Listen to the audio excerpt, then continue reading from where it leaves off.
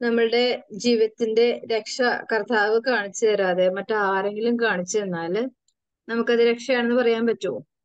ഇല്ല.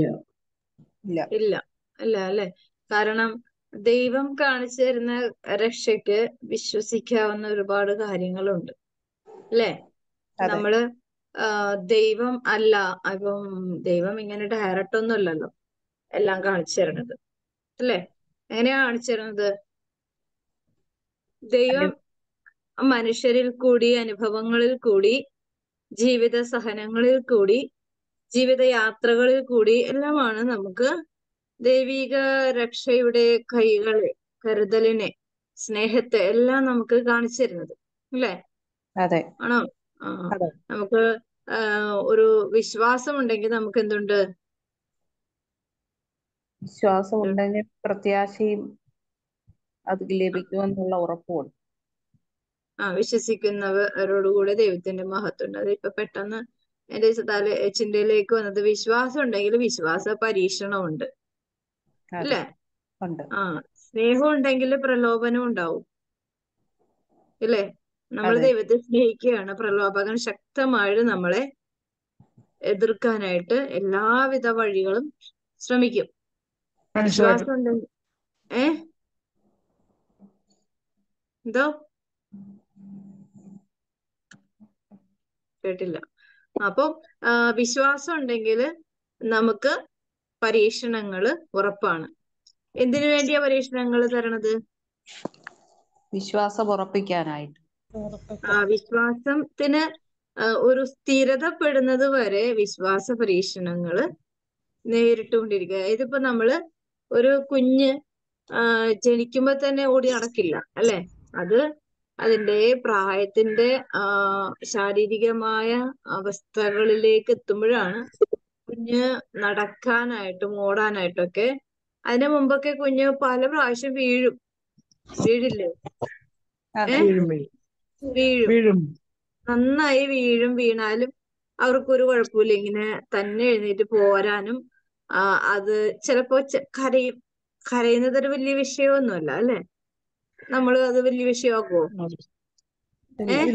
ഇല്ല ആ ഇല്ല. കാരണം അവ- അവർ അത് നോർമലാണ്. ഒരു ഒരു മനുഷ്യന്റെ തുടർക്കഥ അങ്ങനെയാണ് തുടർന്ന് തുടർന്ന് പോരുന്നത് അല്ലെ? അപ്പൊ വിശ്വാസികൾ പരീക്ഷിക്കപ്പെടുക എന്നുള്ളത് അത് വലിയ ഇപ്പൊ കുഞ്ഞ് വളരുന്നത് പോലെയാണ് വിശ്വാസികൾക്കും വിശ്വാസ വളർച്ച വിശദീകരിക്കപ്പെടുന്നത്. അത് ചെറിയ തട്ടുമുട്ടൊക്കെ കിട്ടണം എന്നതാണ് വിശ്വാസത്തിന്റെ വളർച്ചയുടെ അനുഭവം അല്ലേ? അതെ. ആ. വിശ്വാസ പരീക്ഷണം ഇല്ലാത്തവന്റെ വിശ്വാസം എന്ന് പറഞ്ഞാൽ എപ്പോ വേണമെങ്കിലും തള്ളി പറയാവുന്നതാണ് അല്ലേ ആണോ? ആ. വിശ്വാസം അല്പവിശ്വാസി എന്ത് കണ്ടാലും ഇട്ടേച്ച് പോവും. കാരണം അവന് ഒരു അസ്ഥിരത ഉണ്ട്. പക്ഷെ സ്ഥിരപ്പെട്ട ഒരു വിശ്വാസിക്ക് സ്ഥിരമായ പ്രലോഭനവും പരീക്ഷണവും വന്നാലും എന്തുണ്ട്? അവൻ അതിനെ അതിജീവിക്കുവാനുള്ള കരുത്ത് അതായത് ദൈവം കൊടുക്കുന്ന കരുത്ത് അവനെ ശക്തിപ്പെടുത്തുകയും അടുത്ത വരുന്ന എല്ലാ പ്രലോഭനങ്ങളും ഇപ്പൊ ആദ്യം നമുക്കറിയാലോ കുഞ്ഞ് വീഴുമ്പോ കുഞ്ഞിന്റെ വീഴ്ചയ്ക്ക് വലിയ വലിയ പ്രശ്നങ്ങളൊന്നും ഉണ്ടാവില്ല. പക്ഷെ ഒരു പതിനഞ്ച് വയസ്സാവുമ്പോ ഉള്ള വീഴ്ചയ്ക്ക് ചിലപ്പോൾ മുറിവുകൾ പറ്റാം. അല്ലേ? കാരണം എന്താ അവന് നോക്കി നടക്കാനുള്ള ബുദ്ധിയും ബോധവും ഒക്കെ ആയി. പിന്നെ അവന് വീഴാൻ പാടില്ല. അല്ലേ? കണ്ടോ ആ വീഴുക എന്ന് പറഞ്ഞാൽ നോർമൽ ആണെങ്കിലും അവൻ അശ്രദ്ധ കൊണ്ടാണ് വീഴണത്. അല്ലെ നമ്മളൊക്കെ അത്യാവശ്യം ബുദ്ധിയും ബോധവും ഒക്കെ വെച്ചപ്പോ എത്ര പ്രാവശ്യം വീണിട്ടുണ്ട്? അല്ലേ? കാൽ തട്ടി വീഴുന്നതല്ല. കാൽ തട്ടി വീഴുന്നത് എന്ന് പറഞ്ഞാൽ നമുക്ക് അങ്ങനെ എന്തെങ്കിലുമൊക്കെ സംഭവിക്കാം. എങ്കിലും ശ്രദ്ധിച്ച് നടക്കണ്ടേ എന്ന് അത് കൂടെയുള്ളവര് പറയും അല്ലെ? ഇതുപോലെ ദൈവവും പറയുന്നുണ്ട് കെയർഫുൾ ആയിരിക്കണം. എവിടെ? പ്രലോഭനങ്ങളോട്. അല്ലേ? ഏ? ആ പ്രലോഭനങ്ങളോട് കെയർഫുൾ ആയിട്ട് ശ്രദ്ധിക്കണം. ഇരുന്നില്ല കെയർലെസ് ആയിട്ട് ഇരുന്ന് കഴിഞ്ഞാൽ പ്രലോഭകൻ വളരെ ശക്തമായിട്ട് അവൻ നമ്മളെ തട്ടി വീഴ്ത്തും. അതുകൊണ്ടാണ് എന്റെ പാദം കല്ലിൽ തട്ടാതിരിക്കുവാൻ അവിടുന്ന് ദൂതന്മാരോട് പറയുന്നുണ്ട്. പക്ഷെ നീയും അതുപോലെ ആ ഒരു കെയറിങ് ദൈവം എനിക്ക് തരും എന്നുള്ള പ്രതീക്ഷയിലും പ്രത്യാശയിലും ദൈവത്തിന്റെ കൂടാരത്തിൽ വിശ്വാസത്തോടുകൂടെ ആയിരിക്കുക എന്നുള്ളത് ഓരോരുത്തരുടെയും ഉത്തരവാദിത്വം കൂടിയാണ്. അല്ലെ? ദൈവം എല്ലാം തരുന്നു പറഞ്ഞ് വെറുതെ അങ്ങനെ ചുമ്മാ അങ്ങനെ ജീവിച്ചു പോയി സ്വാതന്ത്ര്യത്തോടെ അഹങ്കാരത്തോടെ സ്വാർത്ഥതയോടെ ഒക്കെ ജീവിച്ചു കഴിഞ്ഞാൽ അവന്റെ ജീവിതം എവിടെ പോയി അവസാനിക്കും? മുളയിലെ നുള്ളിക്കളയുന്നത് പോലെ ആയിരിക്കും ജീവിതം അല്ലെ? എത്രയോ മക്കളാണ് ഈ കാലഘട്ടത്തിൽ. ഇപ്പോഴത്തെ ഒരു ട്രെൻഡ് എന്ന് പറഞ്ഞാൽ ഒരുവിധം ഒരു പത്തിരുപത്തിരണ്ട് വയസ്സായ പിള്ളേരൊക്കെ പത്ത് ഒരു ഇരുപത്തഞ്ച് വയസ്സായ പിള്ളേരൊക്കെ കുറച്ചും കൂടി മാന്യമായിട്ടാണ് ജീവിക്കുന്നത്. എനിക്ക് തോന്നുന്നു ഒരു ടെൻത്തിലൊക്കെ പഠിക്കുന്ന കുട്ടികൾ വളരെ മോശമായ അവസ്ഥയിലോട്ടാണ് പോയിക്കൊണ്ടിരിക്കുന്നത്. നമുക്ക് ഒരു തരത്തിലും സ്കൂളിലെ ടീച്ചേഴ്സുകൾക്ക് പോലും ഭയത്തോടു കൂടിയാണ് പിള്ളേരെ പഠിപ്പിക്കുന്നത്. അതുപോലെ ഡേഞ്ചറസ് ആയിട്ട് വരുന്ന പിള്ളേരാണ് വലിയ ഡേഞ്ചറസ് ആണ് വെച്ചാൽ ഒരു ഏഴാം ക്ലാസ് ആറാം ക്ലാസ്സിലെ പിള്ളേരൊക്കെ തന്നെ ഭയങ്കരമായിട്ട് ഈ ലോകത്തിന്റെ അത്ര അഡിക്ഷൻ ആണ്. എല്ലാ തരത്തിലും. Phone addiction drugs addiction sex addiction അങ്ങനെ പല കാര്യങ്ങളിലും ഭയങ്കരമായ അഡിക്ഷനാണ് മുതിർന്ന പിള്ളേര് ഇപ്പൊ ഇനി കഴിഞ്ഞ ദിവസം ഞങ്ങളുടെ പരിചയമുള്ള ഒരു പയ്യൻ അവൻ കല്യാണം കഴിച്ചിട്ടില്ല. പക്ഷെ അവൻ പറഞ്ഞാണ് അവൻ നല്ല പൊക്കവും മണ്ണും ഒക്കെ ഉണ്ട്.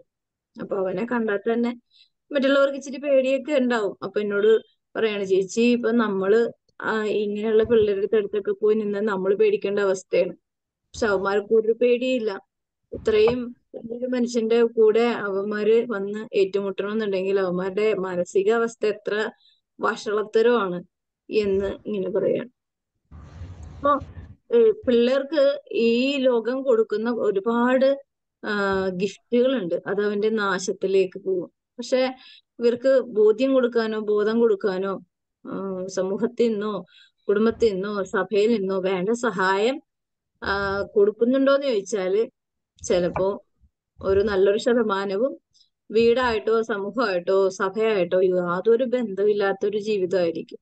അവരവരുടെ വഴി ഈ മൂന്ന് കാര്യങ്ങളും അവ അതും അവരുടെ കുടുംബം കുടുംബത്തിന്റെ തിരക്കിലുള്ള ഓട്ടം. സമൂഹം ഓരോരുത്തരുടെയും സമൂഹം എന്ന് പറഞ്ഞാൽ ഈ നമ്മുടെ നമ്മളുടെ സൊസൈറ്റി.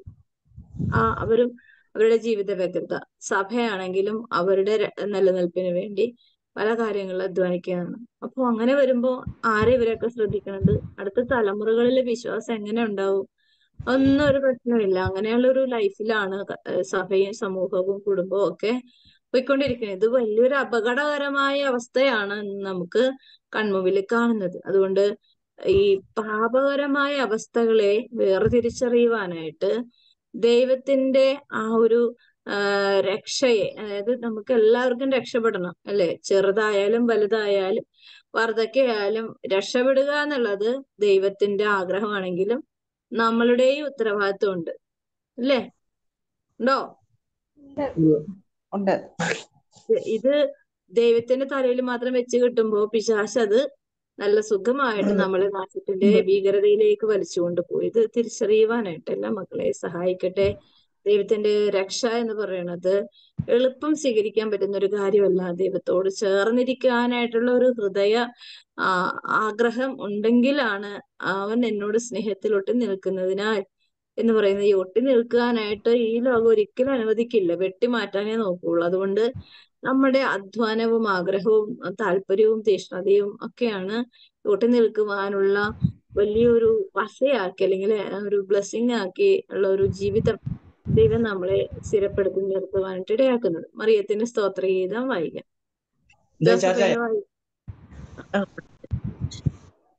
വായിക്കാൻ പറ്റുമോ? ആ വായിക്കാം വിശുദ്ധ ലൂക്ക് എഴുതിയ സുവിശേഷം ഒന്നാം അധ്യായം നാൽപ്പത്തി ആറ് മുതൽ അൻപത്തിയഞ്ച് വരെയുള്ള തിരുവചനങ്ങൾ. പരിശുദ്ധാമയുടെ സ്വസ്ത്രഗീതം മറിയം പറഞ്ഞു എന്റെ ആത്മാവ് കർത്താവിനെ മഹത്വപ്പെടുത്തുന്നു. എന്റെ ചിത്തം എന്റെ രക്ഷകനായ ദൈവത്തിൽ ആനന്ദിക്കുന്നു. അവിടുന്ന് തന്റെ ദാസിയുടെ താഴ്മയെ കടാക്ഷിച്ചു. ഇപ്പോൾ മുതൽ സകല തലമുറകളും എന്നെ ഭാഗ്യവതി എന്ന് പ്രകീർത്തിക്കും. ശക്തനായവൻ എനിക്ക് വലിയ കാര്യങ്ങൾ ചെയ്തിരിക്കുന്നു. അവിടുത്തെ നാമം പരിശുദ്ധമാണ്. അവിടുത്തെ ഭക്തരുടെ മേൽ തലമുറകൾ തോറും അവിടുന്ന് കരുണ വർഷിക്കും. അവിടുന്ന് തന്റെ ഭുജം കൊണ്ട് ശക്തി പ്രകടിപ്പിച്ചു. ഹൃദയ വിചാരത്തിൽ അഹങ്കരിക്കുന്നവരെ ചിതറിച്ചു. ശക്തന്മാരെ സിംഹാസനത്തിൽ നിന്ന് മറിച്ചിട്ടു.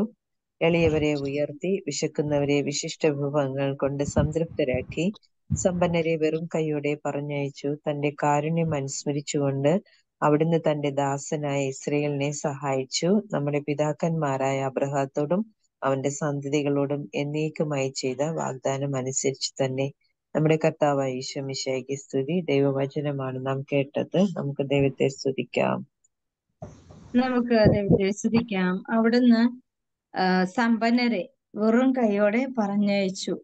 അതായത് മനുഷ്യരുടെ സമ്പന്നത ഏത് തരത്തിലുള്ളതാണെന്ന് തരംതിരിച്ച് മനസ്സിലാക്കുവാൻ ദൈവം തന്റെ ജ്ഞാനത്തിൽ എപ്പോഴും പൂർണതയുള്ളത് കൊണ്ട് ഇപ്പൊ ഞാനിപ്പോ എന്തുദ്ദേശത്തോടെയാണ് ഒരു കാര്യം ചെയ്യുന്നതെന്ന് ദൈവത്തിന് വ്യക്തമായിട്ട് അറിയാം പക്ഷെ ലോകം അതറിയണമെന്നില്ല. അല്ലെ? എന്നെ കാണുന്നവര് കേൾക്കുന്നവര് ഒന്നും അറിയില്ല. അല്ലെ? അറിയോ? ഇല്ല? ഇല്ല. ഇപ്പൊ നമ്മളിപ്പോ ഒരു നല്ല ഒരു ഡിവോഷൻ സോങ് പാടണേണ് അത് ലോകത്തിലെ ഒരു പ്രമുഖനായ ഒരു ഗായകൻ പാടുകയാണ്. ആ വ്യക്തി എന്താ ചെയ്യണത്? ഏ? പാടുക മാത്രമേ ഉള്ളൂ അല്ലേ? ആണോ? ഈ ദൈവത്തെ മറന്നു കുഞ്ഞ് ജീവിക്കരുത്. ആ പാട്ട് ആരാ പാടിയെന്നറിയോ യേശുദാസ പാടിയത്.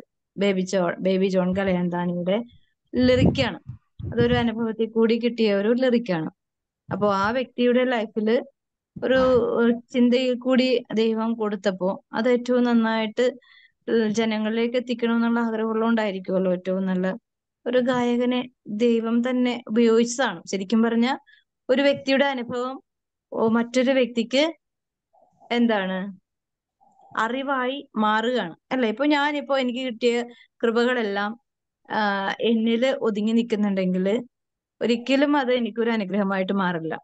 മാറുമോ ഇല്ല. ഇല്ല. മാറില്ല. എനിക്ക് കിട്ടിയത് മറ്റുള്ളവർക്ക് സപ്ലൈ ചെയ്യുമ്പോഴാണ് എനിക്കും മറ്റുള്ളവർക്കും കൃപയായിട്ട് മാറുന്നത്. അപ്പോ ഇതിൽ അതുകൊണ്ട് പൗലോസ്ലിഹ പറഞ്ഞു ഞാൻ നട്ടു മറ്റവര് വെള്ളം ഒഴിച്ചു. ആരാ വളർത്തിയത്? ദൈവം. ആ ദൈവമാണ് വളർത്തിയത്.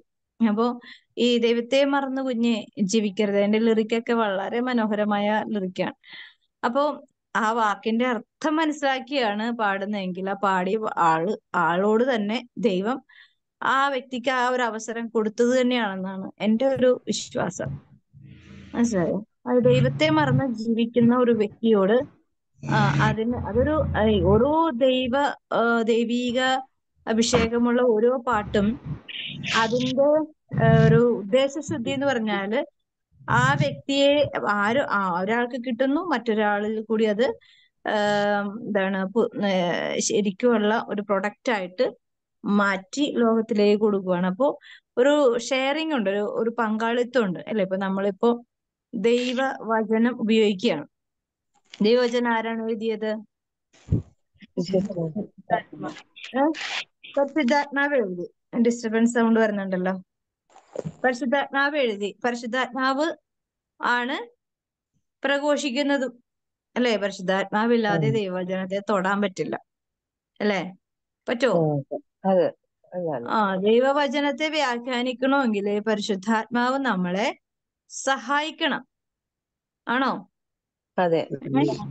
ആ, അല്ലാതെ വ്യാഖ്യാനിച്ചു കഴിഞ്ഞാൽ അത് ദുർവ്യാഖ്യാനമായി മാറും.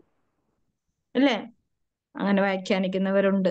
ഒത്തിരി പേരുണ്ട്. കാരണം സ്വന്തം താല്പര്യങ്ങൾക്ക് വേണ്ടി വചനം പ്രഘോഷിക്കുകയും അതിനു വേണ്ടി അതിനുവേണ്ടി നിലപാടെടുക്കുകയും ചെയ്യുന്നുണ്ട്. പക്ഷെ ജീവിതവുമായിട്ട് യാതൊരു ബന്ധവും ഇല്ലാതിരിക്കുമ്പോൾ ഇവിടെ ആർക്കാണ് കുറച്ചുകൂടി അധികാരം ആ വ്യക്തിത്വത്തിന്? ഏ? പിശാചിനാണ്. പിശാചിനാണ്. കാരണം ദൈവവചനത്തെ എടുത്ത് ഉപയോഗിക്കണമെങ്കിൽ ഒരു വചനം പറയുന്ന "ആ, എന്റെ വചനത്തെ തൊടാൻ അവനോട് ആര് പറയുന്നു? അവനോട് ആരാണ് പറഞ്ഞതെന്ന് പറഞ്ഞിട്ട് ദൈവം കോപിച്ചുകൊണ്ട് ചോദിക്കുന്ന ഒരു വചനം പറയുന്നത് ഭാഗമുണ്ട് ഏഷ്യയുടെ പുസ്തകത്തിലാണ് അത് കൃത്യമായിട്ട് എനിക്കിപ്പോ ഓർമ്മ വരുന്നില്ല. എന്റെ വാക്ക് വചനം ഉരിയാടാൻ ആർക്ക് ആരാണ് അവർ അധികാരം കൊടുത്തതെന്ന് പറഞ്ഞിട്ട് ഏഷ്യയുടെ പുസ്തകത്തിലാണ് തോന്നുന്നു. എന്റെ നാമം ഉച്ചരിക്കുവാൻ ആരാണ് അവരോട് പറയുന്നത് എന്നൊക്കെ പറഞ്ഞിട്ട്. അല്ല ദൈവത്തിന്റെ നാമം ദൈവത്തിന്റെ വചനം ദൈവിക വസ്തുക്കളെല്ലാം തൊടുക എടുക്കുക ഉപയോഗിക്കുക എന്ന് പറയുന്നത് അത് ദൈവത്തിന്റെ അനുവാദം ദൈവത്തിന്റെ സഹായം ഇല്ലാതെ ഉപയോഗിക്കുമ്പോൾ അത് പിശാചിന്റെ കീഴിലോട്ടാണ് പോണത്. അല്ലേ? ആണോ? ഇത് ഇത് വലിയൊരു അപകടകരമായതുകൊണ്ടാണ് ദൈവവചനം എന്താന്നാ പറയണത്?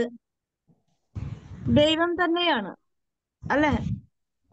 ദൈവവചനം അത് ദൈവത്തിന്റെ നാമം വൃഥാ പ്രയോഗിക്കരുത്. എല്ലാം നമ്മൾ ഉപയോഗിക്കുന്നുണ്ട് പക്ഷെ ഇതിലേക്ക് വരുമ്പോ തീക്കളിയാണ്. ദൈവിക കാര്യങ്ങളും ദൈവിക ചിന്തകളും ഒക്കെ നമ്മൾ അതനുസരിച്ച് ഉപയോഗിച്ചില്ലെങ്കിൽ അത് നമുക്ക് തന്നെ ദുർസാക്ഷി എതിർസാക്ഷ്യമായി മാറ്റുവാനായിട്ട് ഇടയാക്കും. അതുകൊണ്ടാണ് ഹൃദയ വിചാരത്തിൽ അഹങ്കരിക്കുന്നവരെ ചിതറിച്ചു എന്ന് പറയുന്നത്. ഇപ്പൊ നമുക്കിപ്പോ നല്ല ബുദ്ധിയുള്ള ഒരു ഒരു കുട്ടിയുണ്ട്. അവൻ അവന്റെ ജീവിതത്തിൽ പല കാര്യങ്ങളും നേടി നേടി നേടി നേടി നേടി അവസാനം നല്ലൊരു നിലയിലെത്തി. പക്ഷെ അവിടുന്ന് അവിടെ നിന്ന് അവൻ അഹങ്കരിക്കുകയാണ്. അവിടെ നിന്ന് വീഴുന്ന വീഴ്ചയ്ക്ക് ആഘാതം ഉണ്ടാകുമോ ഉണ്ടാവില്ലേ? ഉണ്ടാവും. ആ ഭീകരമായിരിക്കും. അല്ലേ? ഉയരുന്തോറും താഴ്ചയുടെ ആഴം ഭീകരമായിരിക്കും. അല്ലേ? ദാവീദിന്റെ ഉയർച്ച രാജാവായിരുന്നു. രാജാവിന്റെ ഉയർച്ച അവസാനം എങ്ങോട്ടേക്കാണ് വീണത്? ഭയങ്കരമായ വീഴ്ചയായിരുന്നു അല്ലെ? സ്വന്തം കൊട്ടാരത്തിൽ നിന്ന് പടിയിറങ്ങേണ്ടി വന്നു. ആര് മുഖേന അബ്സലോം വഴി. സ്വന്തം മകനിൽ കൂടി തന്നെ ശിക്ഷ അനുഭവിക്കുവാനായിട്ട് ഇടയാക്കി. കാരണം എന്താണ്? ദൈവത്തിന്റെ ഹിതത്തിനെതിരെ പ്രവർത്തിച്ചു. ഹൃദയ വിചാരത്തിൽ അഹങ്കരിച്ചു. അല്ലെ? ഊറിയയുടെ ഭാര്യയെ ബക്ഷബയെ പ്രാപിച്ചു. അത് ദൈവം കാണാതിരിക്കോ ഇല്ല. ഊറിയായെ മനഃപൂർവം കൊല്ലാനായിട്ട് പലവിധ വിദ്യകളും ചെയ്തു അവസാനം. സ്വയം മരിക്കട്ടെ എന്നുള്ള രീതിയിൽ എന്ത് ചെയ്തു? പിള്ളാദസിനെ പോലെ കൈ കഴുകി മിടുക്കനെ പോലെ നിന്നു. അവസാനം ഇതെല്ലാം ആര് കണ്ടു? ദൈവം കണ്ടു. ആ ഈ ഭൂമിയിൽ എല്ലാ മനുഷ്യരെയും കാണുന്ന ഒരേ ഒരു ശക്തിയാണ് ദൈവം. ദൈവത്തിന്റെ കണ്ണുകളെയും കാതുകളെയും ഹൃദയ വിചാരങ്ങളെയും ഗ്രഹിക്കുവാൻ ഈ ഭൂമിയിൽ ആ ഉണ്ട് എന്ന് പറയാനായിട്ട് പരിശുദ്ധ അമ്മയാണ് ഉള്ളത്. അത്രമാത്രം പെർഫെക്റ്റോടുകൂടെ മനസ്സിലാക്കാനായിട്ട് ഒരാളും ഇല്ല. അതുകൊണ്ടാണല്ലോ പരിശുദ്ധ അമ്മയെ തന്നെ ദൈവത്തിന്റെ പുത്രനെ ഏൽപ്പിച്ചത്. അല്ലെ? അപ്പോ ഹൃദയ വിചാരത്തെ അതുകൊണ്ടാണ് അമ്മയ്ക്കറിയാം ഹൃദയ വിചാരത്തെ ദൈവത്തിന്റെ സന്നിധിയിലായിരിക്കുക എന്നുള്ളത് ഒരു മനുഷ്യനെ സംബന്ധിച്ച് ഏറ്റവും ഭയം ജനിപ്പിക്കുന്നതായിരിക്കണം. ഏറ്റവും അധികം ഭയം ജനിപ്പിക്കുന്നതായിരിക്കണം. ഇല്ലെങ്കിൽ എന്ത് പറ്റും? അവൻ അതിന് അടി മറ്റുള്ളവരെക്കാൾ കൂടുതൽ കിട്ടാൻ സാധ്യതയുണ്ട്. അല്ലേ? ഉണ്ടോ? അതുകൊണ്ട് നമ്മൾ ക്രിസ്ത്യാനികളാണ്. നമ്മൾ ദൈവത്തിന്റെ അഭിഷിക്ത ജനമാണ്. പക്ഷെ എന്താണ് ആ ഒരു അഭിഷേകത്തിന്റെ കൃപ നഷ്ടപ്പെടുത്തി ജീവിച്ചാൽ പിശാശിനെ വളരെ എളുപ്പമായി നമ്മുടെ ജീവിതം മൂലം ദൈവത്തെ നിന്ദിക്കുവാനും ആക്ഷേപിക്കുവാനും അപമാനിക്കുവാനും അതിന്റെ പരിഹാരമാണ് നമ്മൾ പിന്നീട് അനുഭവിക്കേണ്ടി വരുന്നത്. അതുകൊണ്ട് ക്രൈസ്തവ സമൂഹത്തിൽ എല്ലാം മാമോദിസ വഴി എല്ലാം ഓക്കെയാണെന്ന വിചാരം പലരുടെയും. പക്ഷെ അവിടെയാണ് തുടക്കം അല്ലെ? അതുകൊണ്ടാണ് ഫ്രാൻസിസ് പാപ്പ ഈ മാമോദിസ ദിവസത്തിന്റെ അനുഗ്രഹത്തെ നമ്മൾ പ്രത്യേകം ഓർത്ത് പ്രാർത്ഥിക്കണം. അന്നത്തെ ബർത്ത്ഡേനേക്കാൾ കുറച്ചുകൂടി വിലയുള്ള ഒരു ദിവസവും കൂടിയാണ് എന്ത് മാമോദിസ. കാരണം എന്താണ്? ഈ യേശുക്രിസ്തുവിനോട് കൂടെ സംസ്കരിക്കപ്പെട്ട ദിവസമാണ് മാമോദിസ ദിവസം അല്ലെ? അപ്പൊ ഇതൊക്കെ നമ്മൾ ഹൃദയത്തിൽ വിചാരമില്ലാതെ ജീവിക്കുന്നതുകൊണ്ടാണ് പല മേഖലകളിലും അഹങ്കാരം നമ്മളെ ഭരിച്ചു ഭരിച്ചു ഭരിച്ച് അവസാനം ഞാനാണ് വലുത്. ദൈവത്തിന് യാതൊരു ഇപ്പോ കഴിഞ്ഞ ദിവസം ഹണി റോസ് ഒരു ഇതിട്ടേക്കണെയാണ് എന്റെ ശരീരം അവരുടെ ശരീരം ഭയങ്കര അവർ തന്നെ സെലിബ്രേറ്റ് ചെയ്തു. അപ്പൊ ഞാൻ അത് കണ്ടിട്ട് എനിക്ക് ഭ്രാന്ത് കയറി. അപ്പൊ ഞാൻ പറഞ്ഞേ വിവരമില്ലാത്ത സെലിബ്രിറ്റി എന്നും പറഞ്ഞൊരു കമന്റ് ഇട്ട്. അപ്പൊ അതിൽ വേറെ ആരോ വന്നിട്ട് സൂപ്പർ എന്നും പറഞ്ഞിട്ട് കിടപ്പുണ്ടായിരുന്നു. കാരണം ഇത്രയും വിവരമില്ലാത്ത മനുഷ്യരാണ് ഈ ലോകത്ത്. അതിനെ പ്രോത്സാഹിപ്പിക്കാനും അതിനെ മോട്ടിവേറ്റ് ചെയ്യാനും അതിനെ സെലിബ്രേറ്റ് ചെയ്യാനുള്ള വ്യക്തികൾ. ഇത് ഇവർ ഈ പറയുന്ന നാൾ പുഴുവരിച്ച് കളയുന്ന ശരീരം. അവർക്ക് പുഴുവിന് കുറച്ചധികം തിന്നാനുണ്ടാവും അവരുടെ ശരീരത്തിൽ നിന്ന്. അല്ലാതെ എന്തെങ്കിലും സംഭവിക്കുവോ? ഇല്ല. ആ ഒന്നുമില്ല. അല്ലെ എല്ലാവരുടെയും തൊലി ആ പുറമേയുള്ള മിനുക്ക് കളഞ്ഞാൽ ഉള്ളിൽ പച്ച മാംസമാണ് വരുന്ന രക്തവും ഒരുപോലെയാണ്. അല്ലെ? ഈ തൊലിപ്പുറത്തെ ആ സൗന്ദര്യം മാറിക്കഴിഞ്ഞാൽ വളരെ വികൃതമാണ് മൊത്തം. അപ്പൊ അതുകൊണ്ട് ഈ ഹൃദയ വിചാരത്തിൽ അഹങ്കരിക്കുന്നവരെ ചിതറിക്കുവാനായിട്ട് കർത്താവിന് വലിയ കാലമൊന്നും വേണ്ട. ചെറിയ സമയം മതി. അതുകൊണ്ട് വളരെ കെയർഫുൾ ആയിട്ടിരിക്കേണ്ട ഒരു കാലഘട്ടവും കൂടിയാണ്. ഇന്ന് നമുക്ക് ഈശോ നൽകുന്ന തിരുവചന ഭാഗം. സമത്തായുടെ സുവിശേഷം മൂന്നാം അധ്യായത്തിൽ എട്ടാമത്തെ തിരുവചന ഭാഗം. മാനസാന്തരത്തിന് യോജിച്ച ഫലം പുറപ്പെടുവിക്കുവിൻ. മാനസാന്തരപ്പെട്ടാൽ മാത്രമേ അതിന് യോജിച്ച ഫലം പുറപ്പെടുവിക്കാൻ സാധിക്കുകയുള്ളൂ. അല്ലെ? മാനസാന്തരപ്പെട്ടു എന്ന് എങ്ങനെ അറിയണത് ഒരു വ്യക്തി?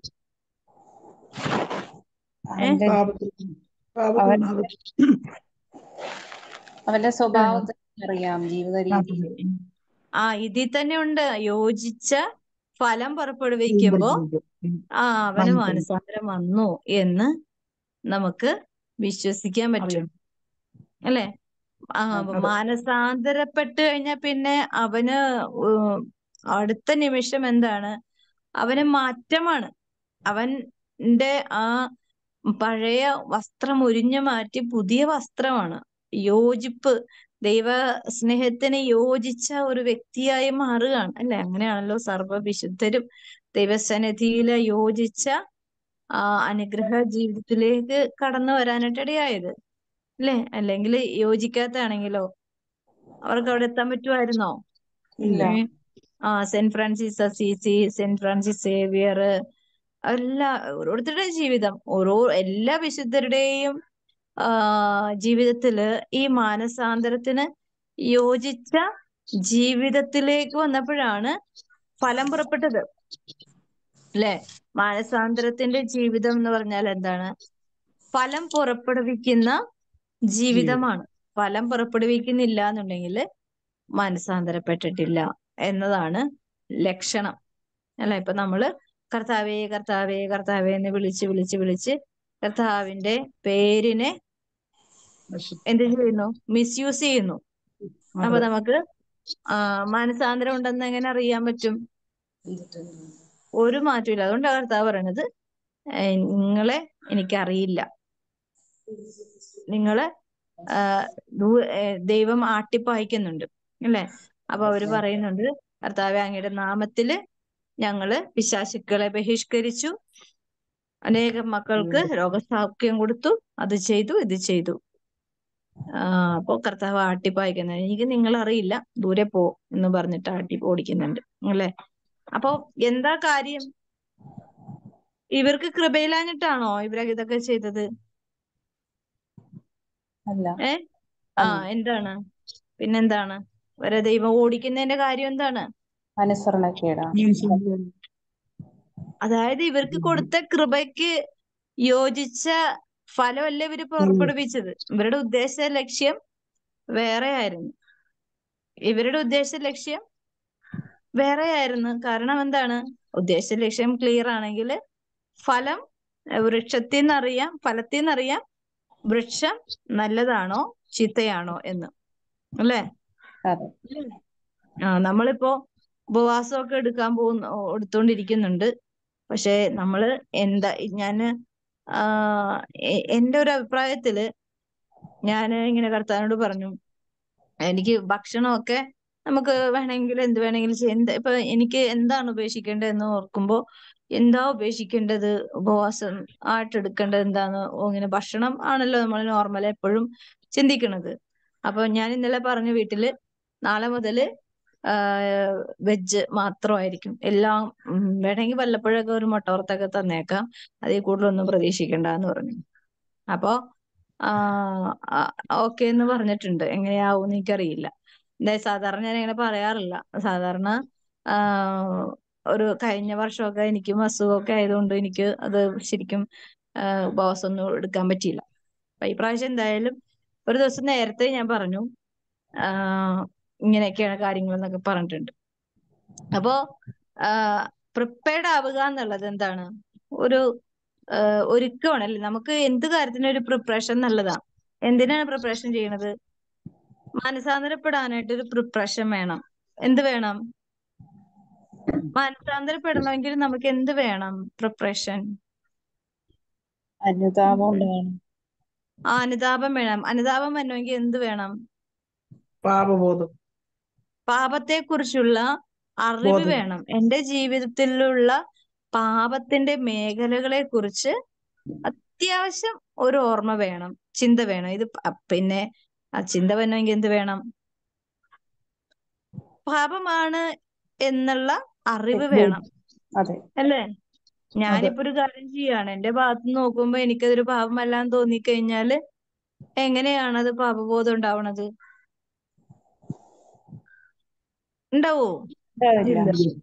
ഉണ്ടാവില്ല. അപ്പൊ പറയും ആ ഇതൊക്കെ ലോകത്തിൽ നടക്കുന്ന കാര്യമാണ്. അതൊന്നും പ്രശ്നമുള്ള കാര്യമൊന്നുമല്ല എന്ന് പറഞ്ഞ് സ്വയം ന്യായീകരിക്കും. ഈ ന്യായീകരണം ആ നമ്മുടെ ആത്മാവിന്റെ ആ ഒരു എന്താ നല്ല ആത്മാവിന്റെ അനുഗ്രഹത്തെ നഷ്ടപ്പെടുത്താൻ കാരണമാവും. പിന്നെ എന്ത് പറ്റും? നമുക്ക് അനുതാപം ഉണ്ടാവില്ല. പിന്നെ വരുന്നത് എന്താ ഫ്രൂട്ട്? ഫലം ഒരു ഒന്നും ഉണ്ടായില്ല അത്തിമരത്തെ കണ്ട് കർത്താവ് ശപിക്കുന്നതിന്റെ കാര്യം എന്താ?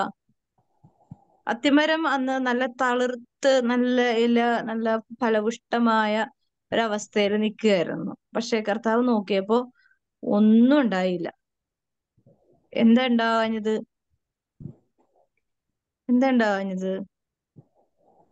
അതിന് വെള്ളവും വളവും എല്ലാം കിട്ടുന്നുണ്ട്. പക്ഷെ അതിന്റെ ഫലം ശൂന്യമായിരുന്നു. ഇതാണ് നമ്മളെയൊക്കെ പലപ്പോഴും പുറമേ നോക്കുമ്പോ നല്ല തളിർത്ത് കിളിർത്ത് നല്ല നല്ല നല്ല എഡ്യൂക്കേറ്റഡ് ആയിരിക്കും നല്ല പ്രാർത്ഥനയായിരിക്കും നല്ല ഭക്തിയായിരിക്കും നമ്മൾ സ്നേഹമായിരിക്കും എങ്ങനെ പുറമേ നിന്ന് നോക്കുമ്പോ അല്ലേ.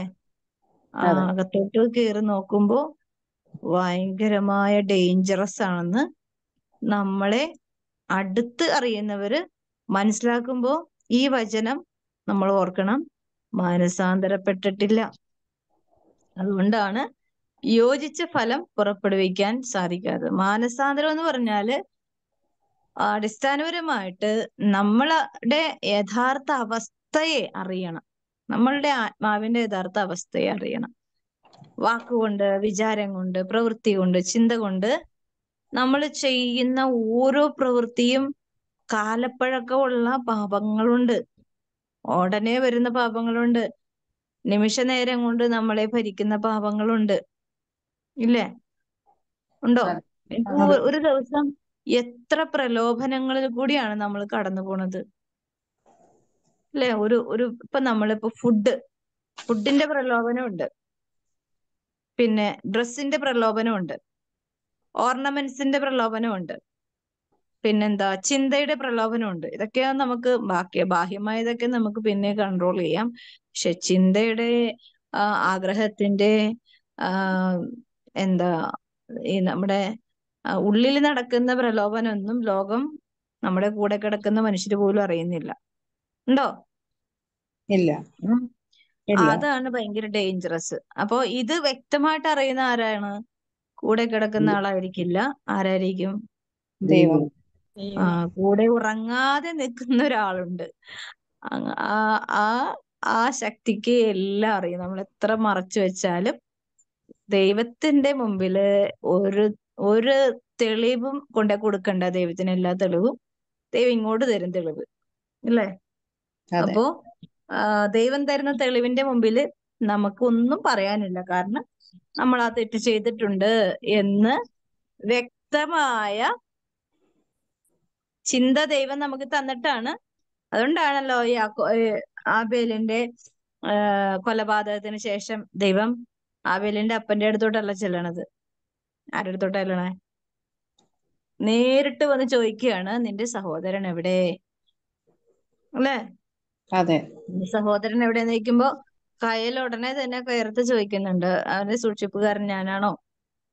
ഏഹ് എന്ന് ചോദിക്കുന്ന ഒരു അർത്ഥം വെച്ചുള്ള ചോദ്യം. അപ്പൊ തന്നെ കർത്താവ് വ്യക്തമായ മറുപടി കൊടുക്കുന്നു കൗൺസിൽ ചെയ്യുന്നു. അപ്പോ ആൾ ആദ്യം പറഞ്ഞ വാക്കുകളും ആ ചിന്തകളും ഒക്കെ പൊടുന്നനെ മാറി യഥാർത്ഥ അവസ്ഥയിലേക്ക് മാറുന്നു. പിന്നെ ഈ ഭൂമിയിൽ ജീവിക്കാൻ പോലും പറ്റാത്ത അവസ്ഥയിലേക്കുള്ള ഒരു ശാപത്തെ സ്വയം വരുത്തി വെച്ചിട്ടുണ്ട് അല്ലെ? അങ്ങനെയൊക്കെ നമ്മൾ ചിന്തിച്ചു കഴിഞ്ഞാൽ അതായത് ഇപ്പൊ നമുക്ക് ഇപ്പൊ ഒരാളെ കൊല ചെയ്തു. ഇപ്പൊ കയലിന് കൊടുത്ത അതേ ശിക്ഷ തന്നെയാണ് നമുക്കും ഉള്ളത് അല്ലെ? ദൈവത്തിന്റെ ആദ്യ സൃഷ്ടി കയലാണെങ്കിൽ അവസാന സൃഷ്ടിക്കും അതേ ശിക്ഷ തന്നെ ദൈവം കൊടുക്കും. ദൈവത്തിന് അങ്ങനെ പക്ഷാഭേദമൊന്നുമില്ല. ആകെ പക്ഷാഭേദമില്ലാതെ ഇല്ലാത്ത ഇല്ലാത്ത ഒരാളുണ്ടെങ്കിൽ ആരാണ്? ആരാണ്? ആ ദൈവം മാത്രമേ ഉള്ളൂ. ദൈവത്തിന് ആദ്യത്തെ മകനും അവസാനത്തെ മകനും ഇടക്കുള്ള മക്കളും ഒക്കെ ഒരേപോലെയാണ്. അപ്പൊ ആദ്യത്തെ സന്താനത്തിന് ഇങ്ങനത്തെ ഒരു ശിക്ഷ കൊടുത്തെങ്കിൽ നമുക്ക് കിട്ടാതിരിക്കോ ഇല്ല. ആ അപ്പൊ അത് ഉറപ്പാണ് അല്ലെ? അപ്പൊ കൊലപാതകം ചെയ്യുക എന്ന് പറയണത് എന്താണ്? ഒരു വ്യക്തിയെ വെറുക്കുക എന്നുള്ളത് കൂടി അർത്ഥമുണ്ടെന്ന് പുതിയ നിയമത്തിൽ ദൈവം നമ്മളോട് പറയുന്നുണ്ട്. അപ്പൊ വെറുപ്പ് വരുന്ന എങ്ങനെയാണ്? വെറുപ്പ് വരുന്നത് എങ്ങനെയാ? വെറുപ്പ് വരുന്നത് എങ്ങനെയാണ്? ദുരാ ദുരാ ഉണ്ടെങ്കിൽ വെറുപ്പ് വരും മറ്റുള്ളവരോട്. സ്നേഹം നഷ്ടപ്പെടുമ്പോഴാണ് വെറുപ്പ് വരുന്നത്. അല്ലേ? സ്നേഹം നഷ്ടപ്പെടുമ്പോ അതിന്റെ റീപ്രൊഡക്റ്റ് ആയിട്ട് വരുന്നത് എന്താണ്? വെറുപ്പാണ്. സ്നേഹം സ്നേഹം സ്നേഹമില്ലാതെ വരുമ്പോ അവിടെ വന്ന് കയറി വരുന്ന വിരുന്ന് വിളിക്കാതെ വരുന്ന വിരുന്നുകാരനാണ് ഒരു മെനകെട്ട അതായത് വിളിക്കാതെ ആരെങ്കിലും കയറി വരുമോ വിരുന്നിന്? ഇല്ല.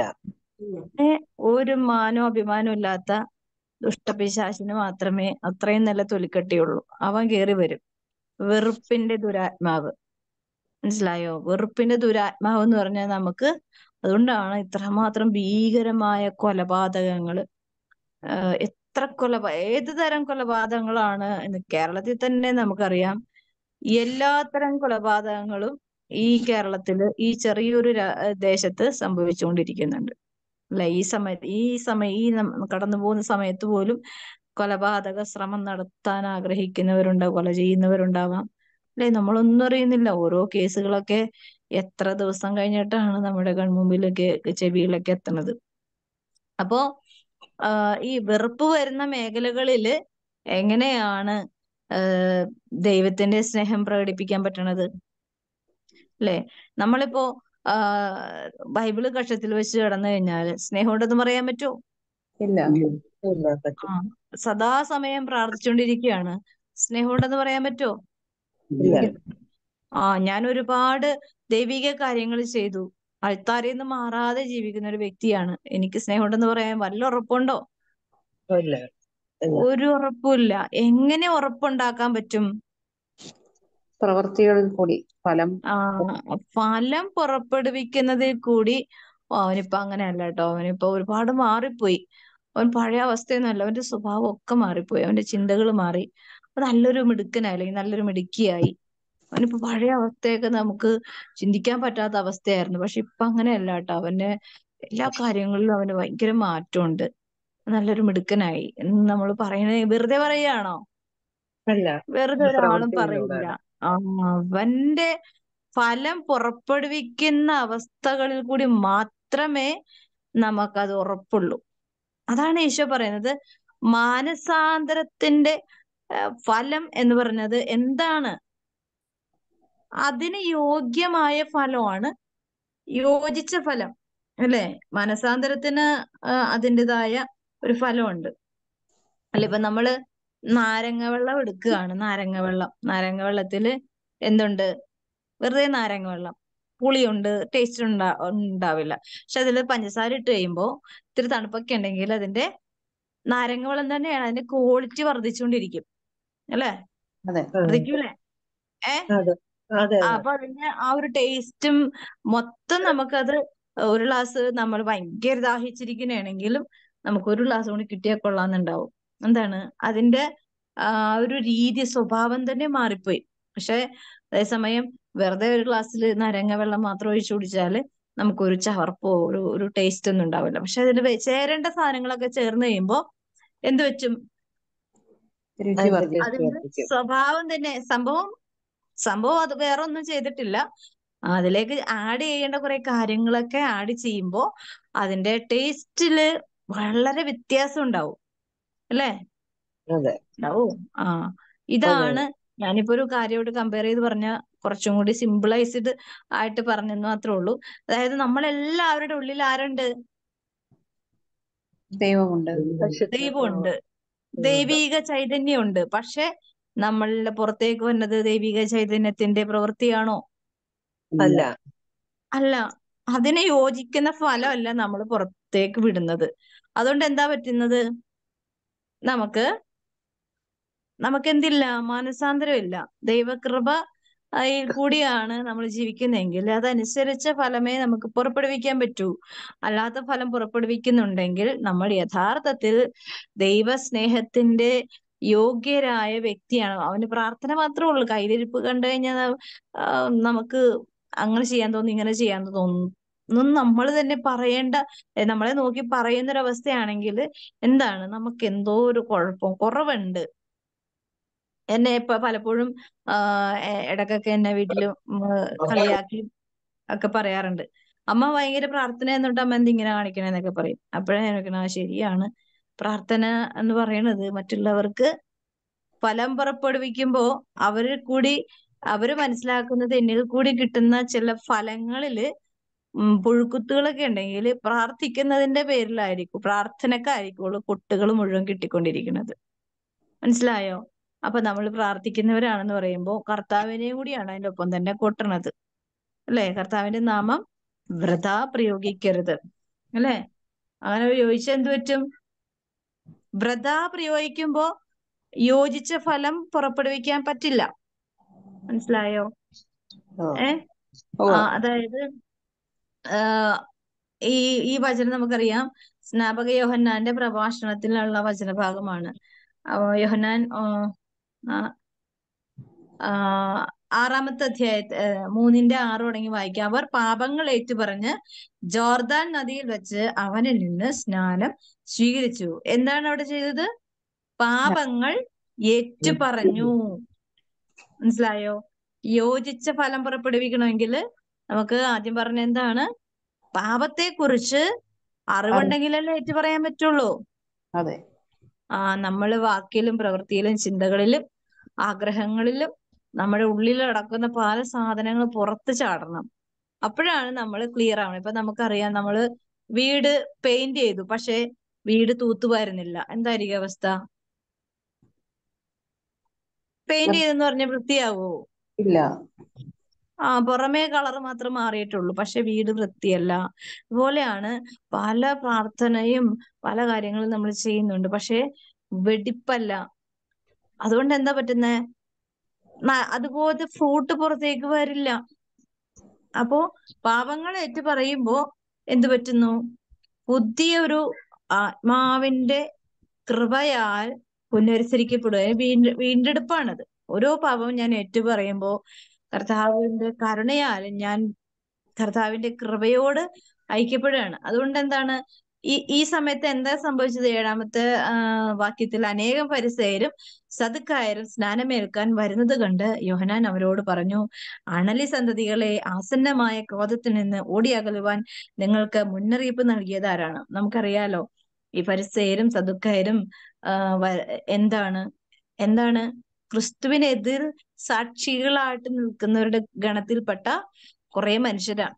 കാരണം ഈശോയുടെ നിയമങ്ങളെ വളച്ചൊടിച്ച് ഒരുപാട് ആവശ്യമില്ലാത്ത നിയമങ്ങൾ മാത്രം ജീവിച്ച് യഥാർത്ഥ ദൈവീക കൃപ നഷ്ടപ്പെടുത്തി അവർക്ക് ബുദ്ധി കൊണ്ട് ജീവിച്ച് അങ്ങനെ ജീവിക്കുന്ന ആൾക്കാരാണ് അവരുടെ ബുദ്ധിയിലും നിയമങ്ങളിലും മാത്രം കടിച്ചു തൂങ്ങി മോശയുടെ ക്രമപ്രകാരം ജീവിക്കുന്ന ആളുകളാണ് അപ്പോ ഇവർ കർത്താവ് പറയണ അണലി സന്തതികൾ എന്താണ്? അണലി സന്തതിക്ക് എന്താണ് പ്രത്യേകത? അണലി എന്ന് പറഞ്ഞാൽ എന്താ? അണലിക്ക് ചെവി കേട്ടൂടാ. ചെവി കേട്ടൂടാ. പക്ഷെ അണലി കൊത്തിയ എന്താണ്? ഭയങ്കര വിഷമാണ്. അല്ലേ? അതെ. ആ അണലികൾക്ക് അതാണ് കർത്താവ് പറയുന്നത് കേൾക്കാൻ താല്പര്യമില്ല. പക്ഷെ അവർ തിരിച്ചടി ഭയങ്കര ഭയങ്കര അപകടകാരികളാണ് അവർ. അതുകൊണ്ടാണ് അതായത് നമ്മളെ പോലെയൊക്കെ തന്നെ. കാരണം നമ്മളെല്ലാം അറിയാം. ക്രിസ്ത്യാനികൾക്ക് എല്ലാം അറിയാം. പക്ഷെ എന്താണ്? മാറാൻ തയ്യാറല്ല. ഒരു തരത്തിലും മാറാൻ തയ്യാറല്ല. അതുകൊണ്ട് എന്ത് സംഭവിക്കണത്? സഭയിലും സമൂഹത്തിലും കുടുംബങ്ങളിലും ക്രിസ്ത്യാനികളുടെ കുടുംബങ്ങളിലാണ് ഏറ്റവും ഡിവോഴ്സും പ്രശ്നങ്ങളും പ്രതിസന്ധികളും മറ്റുള്ളവരുടെയൊക്കെ കണക്ക് വെച്ച് നോക്കുമ്പോൾ ക്രിസ്ത്യാനികളുടെ ഗ്രോത്ത് തന്നെ കീഴ്പോട്ട് പോയി. കുഞ്ഞുങ്ങളില്ല. കുടുംബങ്ങൾ നാശത്തിന്റെ വക്കിലാണ്. പല പല സഭയിൽ പോലും അടി ഇടിയും തൊഴിയൊക്കെയാണ്. അപ്പൊ അതുകൊണ്ട് എന്താണ്? മാനസാന്തരപ്പെട്ടാൽ മാത്രമേ നല്ല ഫലം പുറപ്പെടുവിക്കാൻ പറ്റുള്ളൂ. അതുകൊണ്ട് എന്താണ് ഒമ്പതാമത്തെ വാക്യം ഇങ്ങനെ പറയുന്നത് ഞങ്ങൾക്ക് പിതാവായ അബ്രഹാം ഉണ്ടെന്ന് പറഞ്ഞ് നിങ്ങൾ അഭിമാനിക്കേണ്ട ഈ കല്ലുകളിൽ നിന്ന് അബ്രഹത്തിന് സന്താനങ്ങളെ പുറപ്പെടുവിക്കുവാൻ കഴിയുമെന്ന് ഞാൻ നിങ്ങളോട് പറയുന്നു. വൃക്ഷങ്ങളുടെ വേരിന് കോടാലി വെച്ച് കഴിഞ്ഞു. നല്ല ഫലം കായ്ക്കാത്ത വൃക്ഷങ്ങളെല്ലാം വെട്ടി തീയിലെറിയും. എന്നാന്ന് വെച്ചാൽ എന്താണ്? മനസാന്തരത്തിന് യോജിച്ച ഫലം പുറപ്പെടുവിക്കാത്ത എല്ലാത്തിനും പണി കിട്ടും അതുകൊണ്ടാണ് ദൈവം പറയണത് എന്ത്?